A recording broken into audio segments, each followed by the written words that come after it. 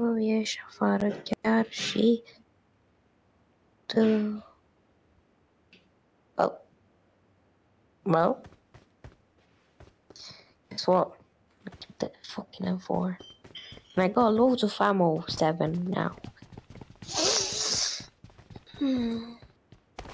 Now I just need a TP. Dude. Oh.